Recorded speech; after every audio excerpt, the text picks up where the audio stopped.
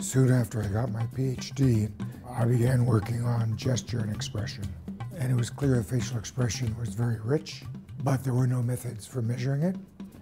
And there was a fundamental argument between Margaret Mead, who said it was another culture specific language, and the earlier writings of Charles Darwin, who said it's universal to the species. To answer that question, I needed to study people who were totally isolated,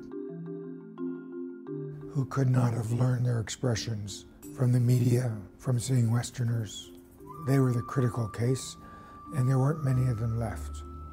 And so in 1967, I went to the highlands of New Guinea and I studied people where I was really, for most of them, the first outsider they had ever seen. They were still using stone implements. They had no written language. They had very little clothing. Um, I worked in a number of villages. I was a source of great entertainment. To them, I'd light a match. It was a miracle. Turn on a flashlight. They'd never seen anything like this. And most important, they didn't know what a camera was. So when I would hold one up and take photographs or films, they weren't self-conscious because they just figured I was doing another one of my funny, strange things.